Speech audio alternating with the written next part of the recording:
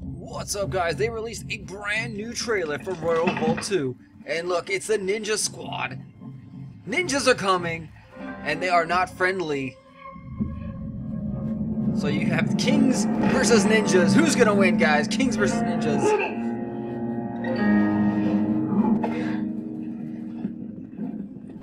Look at this guy in action here, taking out three training dummies.